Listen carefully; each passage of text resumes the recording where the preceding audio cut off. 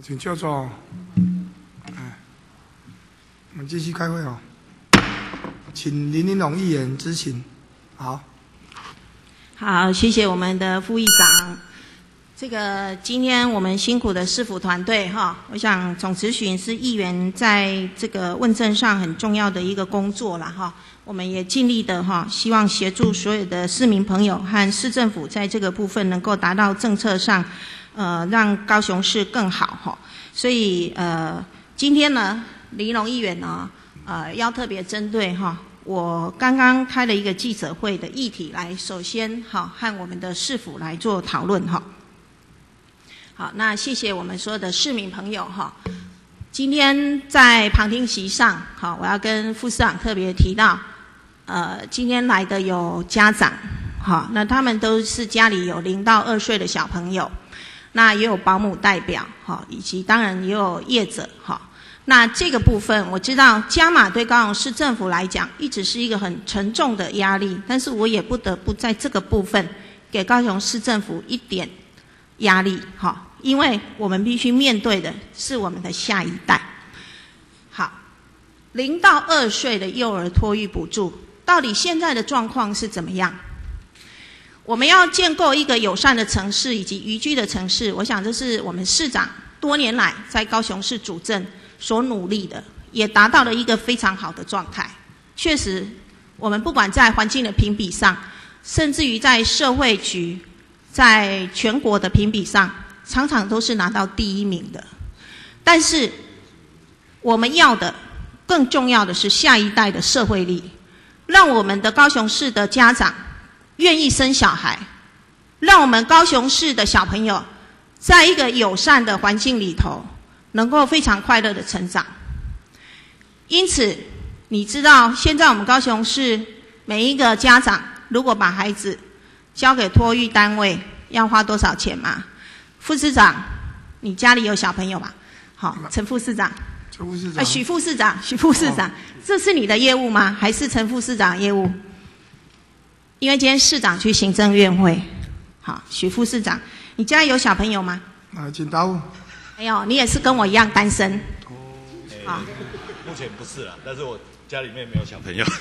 OK，但是我们总是亲戚里面有小朋友了哈。好，那你知道我们现在高雄市的托育，如果交给托育单位，每一个家长一个月要付多少钱给托育单位？你知道吗？行情？呃。这一点具体的那个我不是那么清楚，很抱歉。好，副市长你先请坐。我跟副市长报告，目前行情在两万块以上。那当然便宜一点，可能家庭在家里带的那种保姆，他可能可以降到一万五到两万之间。所以我们今天看高雄市，如果妇女要出来就业，我们高雄市现在的薪资啊，平均啊，一个月。好，刚出来就业的妇女大概可以领到两万多块而已。那如果你的托育小朋友交给托育单位，你就要付掉两万块，那等于他赚的薪水是白赚的嘛？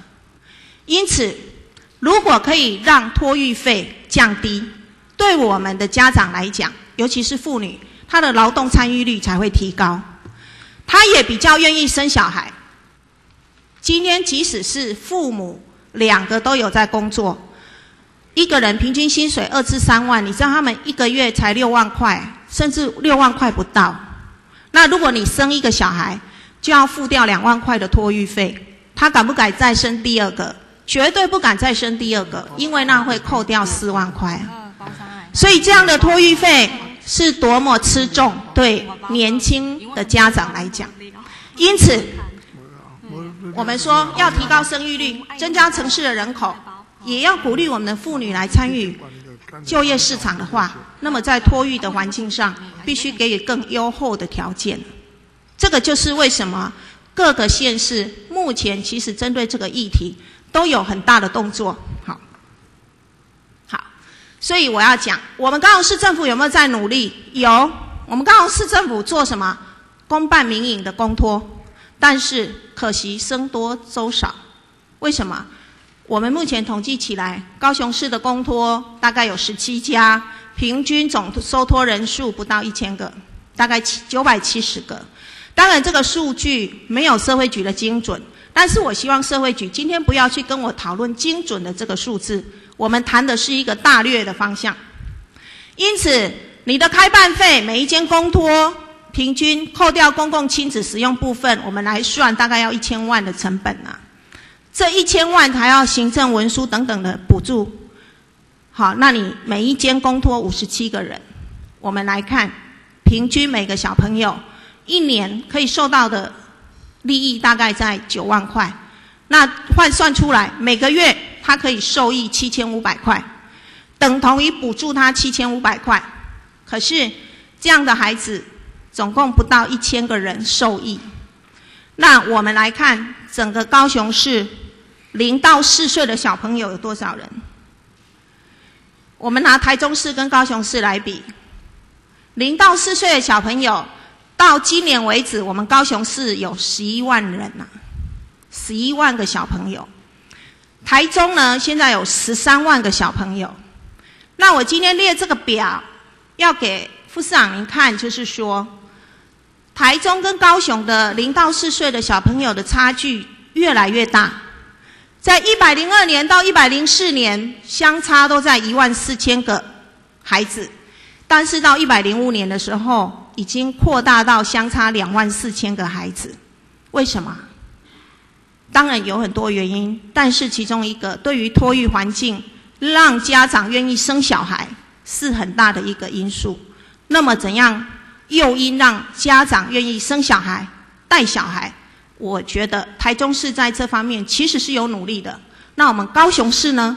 我们高雄市要再努力呀。不然，为什么在一百零五年现阶段统计出来，零到四岁他们已经比我们快速增加一万个小朋友？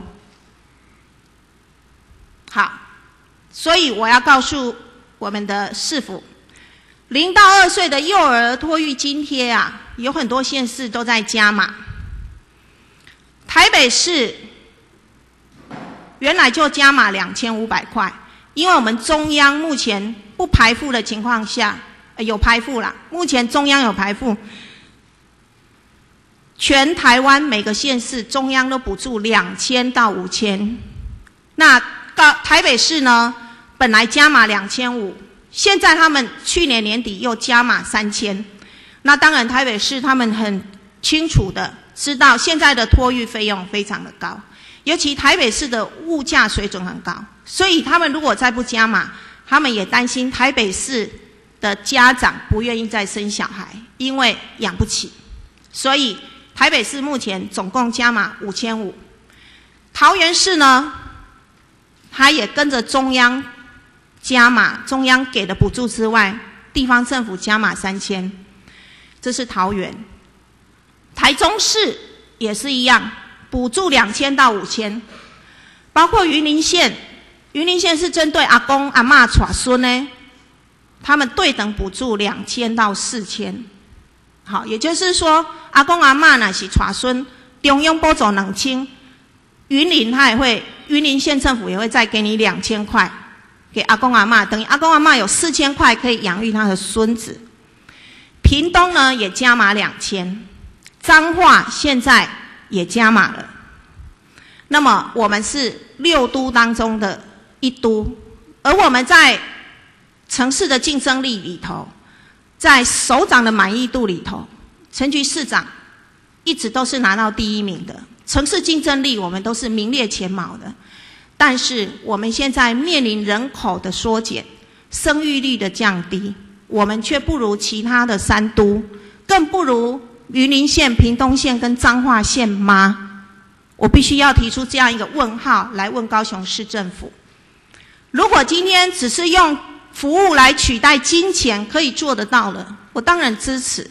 但是如果今天用服务无法完全去取代金钱的加码，要不要来考虑一下，给我们的家长减轻负担一下，让所有大部分的家长在养育零到四岁的小孩的时候，能够得到高雄市政府善意美意。我刚刚开记者会。我非常不满意社会局副局长的答复，他告诉我用服务取代金钱，他告诉我，除非中央加码，否则高雄市政府绝对不会加码。这样的答案让我一个长期支持高雄市政府的执政党议员感到失望，感到难过。我想我的政策的建议，向来对高雄市政府的要求，我都是很理性的。我也是非常支持高雄市政府的努力，更加的肯定的。但是叶副局长给我的这个答复，我极度不满意。我觉得这就是推脱，不愿意面对现实，不愿意面对城市的竞争，像鸵鸟的心态。作为执政党的议员，我当然知道高雄市政府财政上的困难，但是。面对所有的家长跟我们下一代，如何营造一个友善又平价的托育环境，这是我们责无旁贷要努力的事情。其实我上一次部门咨询的时候，我就问过社会局了，社会局就已经给我这样的答案，我其实非常的不满意。我今天要讲营造平价友善的托育服务。如果我们的托育费透过中央跟地方的共同合作，把托育的金额能够降低，那对于育儿跟妇女的就业来讲，都是相对的提升啊，生育率绝对会提高，我们就不会输台中市输个天天嘛，只卖差人一万的囡仔，啊，高雄市的家长，他敢不敢生第二个？我们刚刚记者会的时候，家长跟一些代表的心声就是不敢生第二个啊。所以我们高雄市有鼓励生第三胎的时候给予生育津贴的加码，大部分人用不到，因为重点不在于生育津贴，重于重点在于养育津贴。被起囡仔饲到大汉爱开偌济钱，我想在场所有的官员。大部分都是有子女，甚至拎经做阿公啊、做阿妈，为我们的城市的孩子做一点努力吧。所以我觉得社区保姆，包括托育机构这个部分，我觉得我们要想办法让家长在这方面的支出上可以得到一点补贴，不要把金钱当成都是臭钱。没有钱万万不能，巧妇难为无米之炊。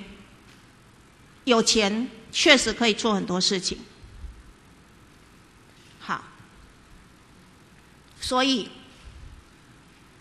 我也要讲这个高雄市幼儿教育及照顾补助办法这个条文，这个办法，哦，我仔细的研读大概十遍，我从上面读到下面，从下面再读到上面。就我一个学法律人，我读了之后，我的理解是说，这个补助办法也是看得到吃不到。为什么？它的对象是两岁到四岁前的幼儿。如果你读幼稚园，好，我们高雄市会补助你每学期五千块。可是它有设了一个设了两个关卡，第一个关卡，你的幼儿家长综合所得税率要百分之五以下。请问有几个人符合？第二个，如果你在中央已经有领到其他的补助，就不能再领了。所以这个有几个人可以领，也寥寥可数。所以这样的补助办法真的是也是看得到吃不到啊。那请问我们高雄市为我们的下一代的幼儿努力了些什么？结果刚叶副局长告诉我说，我们今年要增增加十四个据点。去照顾幼儿，请问这十四个据点是怎么照顾幼儿？他说一些亲子设施，让家长可以带来这里协助家长怎么育儿。我我说真的，今天记者会，我们所有的家长跟代表听到都傻眼。这样增加十四个据点是做什么的？形式化的，实际家长要的不是这个啊。你能不能提供一个比较具体的？给家长减轻负担的，在托育方面，不能通通靠中央啊，地方也要努力。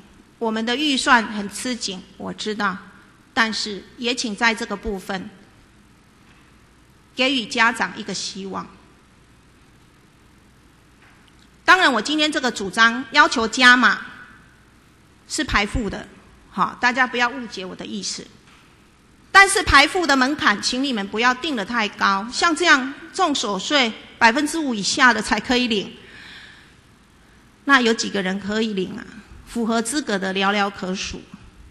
我希望我们的零到二岁的托育津贴可以比照台北市、桃园市、台中市同步加码。我们至少是六都中的。空卡骄傲的，咱是第一名的啊！咱是第一名的城市，为什么咱会输台北、桃园、台中？无理由嘛？排付之后，给予我们的家长这样的同步加码的津贴，裁员怎么来？我相信这个需要请财财政部门去做一番的思考跟努力。我希望年所得在一百万元以下的家长，只要他愿意生小孩，你应该给予他加码。年所得一百万以下，其实这是相对比你补助生第三胎四万六千块还要来的有诱因。他只要知道我养儿育女，我们高雄市政府。愿意帮他分担一点点，他就很乐意去生小孩了。所以，我希望高雄市政府正视这样的一个问题。我希望不要再花大钱在公托啊，公托的成本好高啊。副市长，我请你再看一次，每一间公托要一千多万以上。但是实际可以收的孩子，不过就是五六十个，大家都挤破头要抽签呐，连民意代表都在拜托，那也没办法，就是 IQ，抽到的人才有，那好像跟中乐透一样，真的是微乎其微，几率很低。那你有多少钱可以办那么多的公托？成本多高？每个孩子受益是七千五百块呢？好吧，你说我算的如果不够精准，那我打个折，每个孩子收益六千块啊，总比你现在津贴三千到五千来的多呢。那你为什么不要把它平均给所有的家长，让所有的孩子受益？我们都是纳税人，所有的家长不平的是，他们也都是纳税人，可是他却没有办法享受到公托这么高的津贴补助。因此，我建议，强烈的要求，高雄市政府，研议对于零到二岁，我们只要零到二岁，因为小孩子读幼儿园幼幼班开始，又有另外的一个教育补助，但是在托育的部分，我们先要求零到二岁给予比照台北市、桃园市、台中市的方案加码，我们希望加码三千到五千。如果你能力财政上真的有困难，至少要加码三千。那我相信托育费会降低，我们的家长愿意生小孩，因为你如果零到二岁他都没有能力带，更不用讲说之后了。所以这个部分哈，我想副市长你是不是要先答复一下，过就我这个议题来。副市长，请答复。议员哈，大概呃几点做一个回应啦哈。第一个，我我想在公托跟这一个现金补贴到底什么样的一个运用上面会比较符合家长的需要跟效益？哦，我想这个部分我们可以进一步来做一个做一个分析跟检讨。那第二个部分是关于这个二到四岁的这个部分，刚提到的，就我所知道，其实中央并没有什么同性质的什么补助，当初就是为了补这一个缺口二到四才去设岁嘛，对，二二到四四岁的部分中央有补助啊，没有没有有嗯有有有。它基本上好没关系。我的意思是在于说，这一个部分是不是能够达到这一个实质的效用？因为这个是去年呃编预算的时候，其实希望把这一块补足。那今年刚开始施行，那这个施行的成成效怎么样？你你这个二到四岁啊，其实你的门槛很高哎，所得税率要百分之五以下、啊。那这一个实际执行的状况，我想我们今年在这一个实行了大概大概半年之后，今年才开始实行嘛。嗯哦那我想这一个施行的成效到底是怎么样？我想我们也愿意来做这一个检讨啦。但是哦副长，我现在要求的是零另外到二岁。另外没有错，就是零到二岁。坦白讲，呃，这一个部分，我其实非常不是那么赞成各县市陷入这种现金补贴的这种竞争关系里面了。好、这个呃，基本上我们愿意或者说希望这个部分跟新政府的卫福部大家做一个呃比较全国性的一个一个检讨。我们在幼托的奖励上面来讲的话，应该是怎么样去处理？呃，会比较符合家长的需要，不要让各县市去陷入这种现金现金补贴，大家在那边花钱做增机的这样的一个竞争关系里面。我并不是说，嗯，这样现在的这一个两千到五千这是足够的，而我是认为说，这一个部分全国的这种各县市互相竞争、互相在那边拉户籍人口数的这样的一个观念，我觉得中央政府应该要正视这一个问题。我要讲，如果中央有正视到这个问题，各县市就不会自己想办法。今天就是中央他不会去处理我们这个问题，各县市才会自己想办法啊！你现在又要回到中央，中央何时才要帮我们再加码？你有把握吗？如果拖个三年五年，有没有一个有一个结论吗？其实？其实政府应该要来处理这样的一个问题。你说我们把握，我不见得有把握，但是我觉得应该正本清源的去处理这一个问题，不要让各个县市在那边陷入这种恶性的竞争里面。其实我觉得有时候理想必须跟现实结合。当然，我也不希望是金钱的竞逐，各县市在比谁的福利好。可是我们也不得不面对现实。其实今天不只是台湾而已，其他各个城市、各个国家，大家不也都在福利竞赛吗？谁的福利好，他的人口就会增加，他的生育率就会提升。你说北欧它的福利好不好？非常好啊，但是它的所得税高不高？高，这个都是相对要付出的代价，这个我们都知道。但是今天加码三千，其实对我们而言，如果其他的县市做得到，我们为什么不愿意在现阶段先解决家长的痛苦？至于未来中央改选政策，他们愿意同步再增加，那我们可以把我们原来的这个优惠这样的一个加码再做调整啊。但是你现在现阶段中央根本完全没有针对这个问题有提到任何具体的方案吧？所以你只来说未来我们希望中央同步，我们不希望城市竞争，城市没有不竞争的道理啊。每个城市在竞争就跟赛跑一样啊，大家都使出他看家本领啊，金钱的或者是任何的条件啊。今天在国际城市里头也是这样啊，所以我就说，我们不要认为没有钱就可以做好任何的事。我认为还是要有钱呐、我们法规小组前几天才审公法人嘛，公法人文化单位要成立，文化单位的利益良好，但是文化界也会担心啊，担心你把我成立公法人之后，我像被抛弃的小孩一样，谁来支持我？所以他们要求典藏费要提高，我也认为典藏费要提高，可是你不能放在公法人的预算里头，会排挤到其他。所以文化局在这部分也要去努力。因此，我认为，如果今天是没有钱就可以做好任何事，那文化界就不用要求你典藏费要达到多少钱以上嘛。所以，副市长，你知道我的意思吗？我们今天加码三千，我们实际咖喱话把它看呐，是因为家长已经到了一个生儿育女、养儿育女的一个压力瓶颈，物价现在都很高啊，托育费用要两万块啊，还有两万块以上。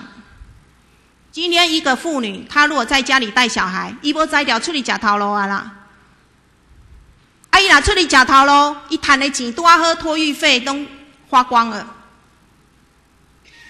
那他到底要选择就业还是选择托育？他最后只好放弃就业，在家带小孩，省这个钱。如果政府在这个部分可以帮他设想到，让他有一点喘息的空间，就是金额稍微降低，创造一个平价的托育环境，这个是我们追求的目标。给我们的家长能够生小孩、带小孩，又快乐的去工作，这是我们要努力的。所以，副市长，我当然了解你说中央要为我们想办法，但是现在看不到中央的具体。也许我们的新政府在这个部分可以为我们着想，但是它也不是那么快啊，不知道要几年呢？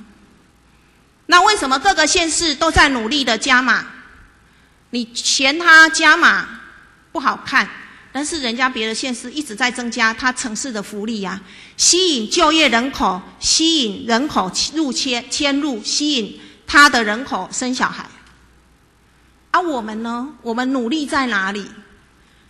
其实我们各个局处都很认真，各个局处都努力在做既定的目标，但是从来没有人去跟你点到说。托育的部分其实已经面临到一个瓶颈。我们刚开始办公托的时候，我也参加第一个公托点的开幕，我那时候非常的高兴，我觉得说，哇，有公托多好，提供平价给我们的家长带小孩。后来我发现说，哎，公托实施了这几年，确实面临了一些问题，家长的声音出来了。第一个，你公托花的成本很高，受益的孩子很少。那为什么不要把这样的一个事的的成本把它摊平，让所有大部分的家长跟小孩受益呢？副长，我今天不是指责你，我今天是很诚恳的、很强烈的希望建议高雄市政府认真的去研究这个问题，好吗？我希望今天财政部门还有社会局能够。具体的提出一个研究方案来，到底加码对我们的生育率是正面还是负面？对于妇女参与市场的就业是提升还是降低？我相信你们可以做一个数据，研讨会也可以做一个数据。如果这些都是正面的，那请你真的努力的加码，不要多三千块。比照其他六都中的三都，我觉得家长们就已经非常感谢了。他们知道高雄市努力了、尽力了。今天他们都在上面旁听，他们希望的就是这样的一个小小的请求，好吧？副市长，你请坐。还是你要回应我？针对我这个部分，你要再回应吗？我想我刚刚已经提过哈，关关于这一个公托跟这个二到四岁这一个实行的成果效益怎么样，可以进进一步来研析啦。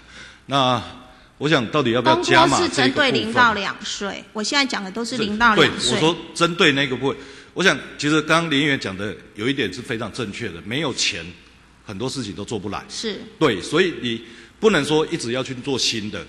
那我们旧的东西如果有真的是实行成效，如同。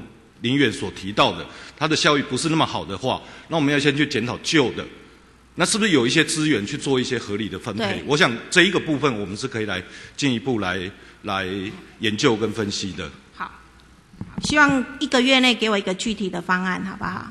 可以吗？一个月，副市长，具体方案。呃，我想针对这一个部分的这个效益的分析，我想一个月之内应该可以。好，谢谢副市长哈。好，那我要来谈第二个。那个局长，你要答复吗？还没有。哎，不用，不用了我我副市长答复就好了。对，谢谢。好，第二个呢，因为我时间有限了哈，局长不好意思，那个长照服务法上路哈，我们应该有一些准备啦。虽然一百零七年才要开始哈，因为长照法呢，其实它对于身心失能的照顾，好，必须啊、由我们的政府哈，将来透过保险跟长照法去做呃相对的配套。那这个呢，其实有很重要的一个就是呃这些干部的培训跟储备哈。那我不知道社会局在这个部分现在哦、有没有做了哪些前置功课啦哈？就是我们现在的照服员、生活服务员、教保员、训练员、社工，还有各类的医师人员，你们怎么样做整合？好，那怎么样给他们做一个储备跟培训？你们到底具体计划拟出来了没有？第二个呢，我认为健全这个长期照护的服务体系很重要，所以你们有没有去做盘点？各个区域需要长照的目前有多少人？那偏乡的地方有多少？他们需要的资源能量能达到多大？我觉得今年一百零五年到一百零七年上路的这一年多的时间，我们社会局必须要充分的准备。因此，我认为各个长照的据点，好，那你们怎么去设，就必须先进行所有的统计资料，就是要盘点，好。所以你们到底盘点了没有？还有家庭自行照顾或个人看护的部分，怎么样提供支持性的服务？那这个规划了没有？好，这个是我我特别要来问社会局的哈，到底我们社会局现在开始准备了没？到一百零七年上路，我们能不能立即的上路？那到底长照法将来是怎么做？有很多人还是不懂，我觉得这个也有必要对民众宣导哈，因为卫福部固然在他的网页上有这些相关的资料，可是大部分的人是一知半解的，什么长照法、什么长照险，不懂。因此，长照服务法再加上长照保险，才能够真正的去照顾到我们未来的失智者。那失智者里面是包含几岁的人呢？好，现在现阶段呢，五十岁以上的身心障碍者，五十五岁以上的原住民，六十五岁以上的长者，好是可以的。那将来呢？我的小孩如果八岁，他是自闭症，可不可以用长照？我的哥哥二十岁，因为车祸，好。他没有办法自我照顾，那可不可以用长照？我的谁从音架上衰落、瘫痪，他可不可以受长照？其实这个部分，我认为必须要给民众充分的了解。那为什么要有保险？长照保险是什么？因为这卖有保险的嘛，就这样，公格嘛就这，所以有很多人不知道的情况下，他可以给你挂个长照保险的名称。给你拉保险也有可能，那你莫名其妙就加了他那个保险，可是对民众来讲，不见得有帮助。好，所以我认为，长照法加长照保险，我们卫生局跟社会局在这部分要多做一些努力功课，也要让民众所有的人都知道，一百零七年要上路的这个东西是什么。好，那有没有年龄的限制？哪些对象？好，那。这个当然，卫福部是说，如果没有长照保险的话，经费是有限的。如果加上长照保险，未来可以有充裕的经费去照顾所有不分年龄的身心失能者。好，那到底保险我们要付多少钱？大家也都不知道。真的，你要上卫福部的网站才会看得到。好，那这个就是说，目前的规划是我们民众自己自付百分之三十，那雇主付百分之四十。好，政府付百分之三十，这样去成立一个长照险。那这样的一个长照险，到底我们要付多少钱呢？好，他有算出来一个大概，就是你如果五口之家，父母保险费大概每个月要各缴一百多块钱。好，那这类似我们的健保费这样子。那这样到底未来民众知不知道清楚吗？那要跟谁投保？谁会来跟我们通知要缴费？我觉得这个部分在一百零七年上路之前，必须要让我们的高雄市民充分的理解，才不会受到其他的误导。因为我觉得长照有很多的讯息来自四面八方，那也有很多的业者，包括保险业者，在这部分强力的推销。到底民众该何去何从？我觉得政府单位在这个部分要负起责任来。哈，好，那是不是请社会局针对我这个部分来做一个回应来，局长。来，局长到。局长你要快哦，因为我的时间有限哈。嗯，谢谢主席，谢谢议员哈。那个虽然长照的业务在高雄市主责是卫生局哈，但是因为可能我们业务负责的比较多，所以就由我来回答。还是要由卫生局长回答。那我们目前明年上路的长照的部分，我们对象的确是像议员刚说明的，我们原本目前十年长照的部分，我们是用失能的比例来算，所以我们是两万七千多人。那到了明年，我们新增了呃失能的这样子的的人口跟年龄放宽之后，变成六万四千七百二十九人。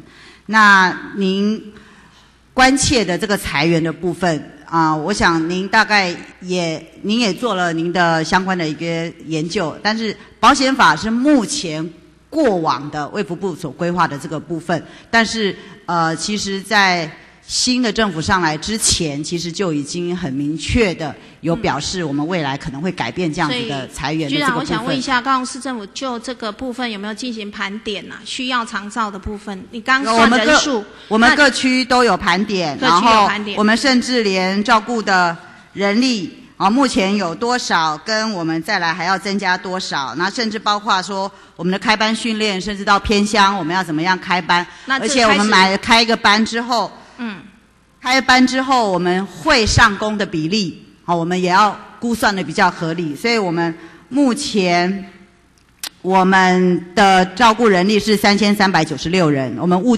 估计明年上路之后，我们还需要再增加一千三百六十位专业的照顾人力，那总共会需要四千七百五十六人啊。但是因为我们通常训练完会呃上工的比例会。会直接来进入线上来做服务的比例，呃，不会完全，所以我们到时候会需要再增加训练两千七百二十人这样子的班别，所以我们现在有跟很多单位在合作，开办相关的训练，卫生局、社会局，甚至中央的呃劳动部都有相关的课程，我们积极，因为照顾人力的确是我们现在很大的一个缺口。局长，你估算长照上路的时候，我们大概需要多少培训人力？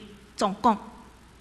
长上就我们要增加一千三百六十位上线的人就加上现有的，总共加上三现有的三千三百九十六人，所以总共需要多少？四千七百五十六人，总共需要四千七百多人。是，这是所有长照法里头相关的人员，是吗？呃，就包括居服单位、机构、日照跟护理之家。这是我刚刚讲的照服员、生活服务员、社工各类医师人员嘛？教保训练社工。社工是另外，社工是另外，我们现在主要是照顾人力。所以你的照顾人力是四千多人，对，不含社工，不含社工，不含医医，也不含不含不含护理人员。好，好，局长你请坐。那我请教一下卫生局长，我们现在在医师人员的培训上，对于长照你们有储备吗？好，局长你请回答。局长请答复。啊，谢谢议员哦。那目前我们那个在医师人员部分是由各医师职等职等，他们会有一个我们有一个叫做 Level One、Level Two、Level Three 的训练。那那个训练是在这三年来已经陆陆续续在开办。那目前的规划里面，其实是包括我们的从护理之家一直到我们整个呃慢性照顾机构以及一些基层的一个医师人员部分，在做呃各各类。医师职等的一个处理。简单来讲，你现在医师方面对于长照的部分，你们储备打算要储备多少人？诶，根源报告，我现在手头没有资料哈。那因为目前这些医师人力，如果医师人力去执行是够的，那这样我们目前重点是放在他的。本身的一个有没有那样的意愿，还有他的照顾的品质，所以我才说要盘点嘛。局长，你新来，你刚上任呐，哈，有些资料你还没办法掌握，没关系。那你请后续提供这方面的资料讯息给我。我希望卫生局也要盘点，你需要多少医师人人力去投入未来的长照，这个很重要，我们必须要有这样的准备，好吗？局长，你请坐哈。好，那再来呢，我要提的是那个，呃。轮船公司的部分哈，轮船公司常年都亏损哈，那我请轮船公司提供资料给我哈，我觉得我们财政部门针对轮船公司的亏损，一定要找到一个方案来解决哈。我们先看它的航线呐哈，呃，旗津古山这个航线呢，搭乘人数是最多的，那你现在可以看到黄色的区块呢，一百零三年啊，跟一百零四年比起来，我们搭乘的人数竟然减了百分之五点多。好，那真爱码头到旗津的部分，因为现在在流行音乐中心施工，所以这个部分人数也是锐减了。哈，这个是没有办法的。那太阳能船呢，过去是非常夯的、很红的，可是它人数也锐减。哈，从四万四十七万变成三十九万。那租船呢？租船有港，这个大概一个半小时。哈。也从去一百零三年的四万九千人降为三一百零四年的三万两千人，哈，所以搭乘人数都是下降的，营收当然也是下降。但是旗津古山渡轮营收增加的理由是什么？因为它票价调整，哈，所以票价调整，可是人数是减的。因此，我认为解决轮船公司的营运亏损，哈，是我们现在必须要面临的一个很重要的问题，好。那我刚刚有特别提到，一百零四年古山旗津航线哈，比一百零三年少了二十九万人搭乘呢，二十九万人哈。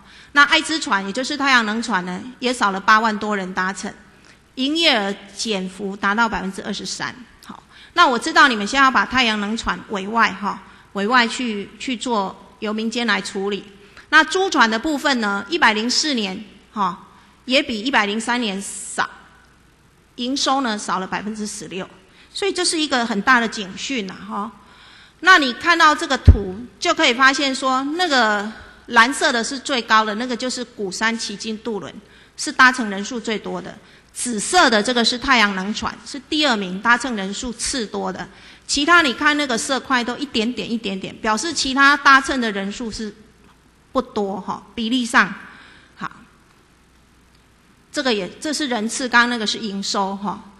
好，所以我们看得出来，主要的营收在于渡轮，好，那太阳能船是小部分，其他一点点而已，哈。好，那你从这个比例来看，鼓山渡轮依然是占最大宗的比例，不管是搭乘人次还是营收，好，太阳能船是第二名，其他都是微乎其微了，哈。那我们从盈亏的统计来看呐，哈，轮船公司一百零四年，哈。赚多少钱？营收是一亿四千六百万，它亏损多少？亏损一亿零五百七十八万。那这亏损一亿零五百七十八万里头，光是奇金卡就亏损七千多万。那奇金卡就是我们奇金的居民，他们是免费搭乘的。那当然，这从过去以来都是给我们奇金离岛一个优惠。但是我必须要讲，今天如果你经营一家公司，这家公司每收十块钱进来，他就要先缴五块钱出去给别人，他就剩下五块钱。那这五块钱他可以做什么？他要付人事费用，还要轮船维修，还要其他的成本开销，以为探险。更何况我们这是城市里头，城市里头的一个船舶，不是国际航线，不是国外航线。他能够赚的营收非常的少，你要他业绩达到百分之一百五十以上，很困难啊！一十块赚入来，五块爱心出去，剩五块呢？你要叫伊一道赚十五块，我想非常非常的难。所以这个让轮船公司永远一直背负着亏损的命运。好，所以我认为解决轮船公司的营运亏损有几个方向，希望市政府能够就这个部分来做。检讨第一个太弱换强，我刚刚谈到了搭船的比例来讲，就是渡轮跟太阳能船是最多人的，营收也是占最多的，其他都是比较不重要的。那你要不要整并？好，有一些真的不太有营收，搭的人也少的，我觉得那个付出的成本太高了，是不是把它整并？哈。强化它的市场性啦，哈，这个市场上有吸引力的船我们留着，没有市场吸引力的，我觉得也不要再再一直花成本在上头。第二个，旗津居民免费搭船的部分哈，在一百零四年就达到七千万，那这个要不要列入轮船公司的营收？我觉得这要请财政部门去检讨，到底列入营收比较好，还是不要列入？那要怎么样去打平？否则这轮船公司永远都处于亏损的状态。好，因为这个是属于财政方面的专业，好，我不便于在这里给给予指导期，但是我认为这个要不要列入营收，真的要思考，或者你不列入营收，那你要想办法哈。那至于票价的部分，我觉得调整之外，你们要有配套，就是套票怎么行销，让它可以卖更多，好，尽量就是有一些搭配观光了哈。最重要的一个七千万这个迄今民众的免费搭乘哈，我觉得我们也许要思考一个方向。迄今的观光资源的开发越来越多，那透过迄今观光的开发，它的收益将来要透过基金还是透过什么样的方式来回馈？那在这个回馈里头去补这样一个迄今居民免费搭乘的支出，我觉得这样轮船公司的亏损。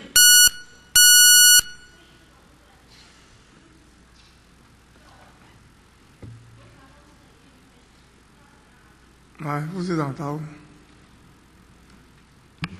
呃，事实上，谢谢林议员的关心哈。事实上，交通局这个特别呃之前那个我们的陈局长才回过头去再兼这一个轮船公司的董事长。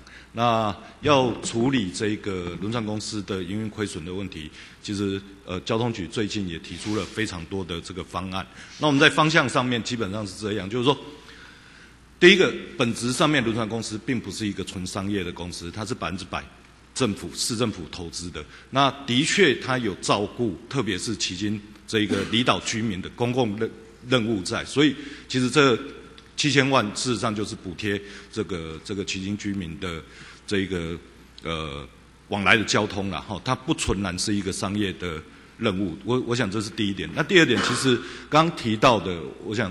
包包含这个各式除了这些公共服务之外，那各式的这一个船舶，哦，是不是能够更贴近市场？我觉得这个是未来非常重要的一个一个努力的目标啦。好，那我们希望这一个除了轮船公司除了这一个公共任务之外，其实其他的在市场性上面应该多加多加的加强。我想这个是回到。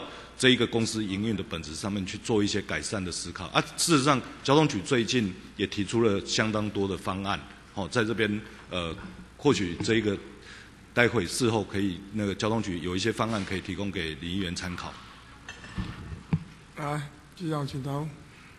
呃，谢谢主席，谢谢林议员对于我们轮船公司的关心哈。确实，现在呃轮船公司呃每一年的亏损里面，很大部分是因为我们迄今居民迄今卡没有办法收到钱哦，大概呃去年就有七千多万了哈。不过目前市府也呃基本上有一个共识，就是把它当做一个虚拟的营收。虚拟的营收虽然没有收到钱，但是在公司的呃绩效评估上面哈，它是有这样的一笔虚拟的营收了哈。虽然呃在实质上它没有钱进来，不过至少对于公司的呃呃绩效，还有对于我们跟市府沟通，怎么样给予。呃，我们船员、我们员工的福利哈，这个有一个比较公平的一个计算。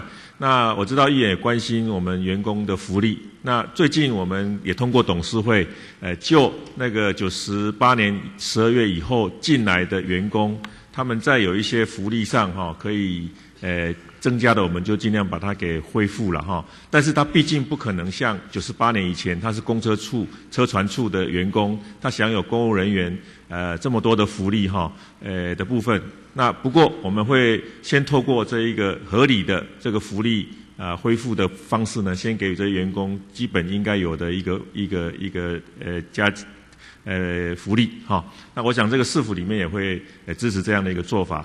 那另外就是说，我们也希望我们把我们的核心的这一个业务哈，放在呃轮渡的部分，因为轮渡的部分包含刚才特别提到的，对于旗津居民对外的这个运输，我们有公共服务的这一个义务之外，最近呃旗津的观光发展也带来很多观光客，所以这个部分是我们可以创收呃这个利润的来源哈来源。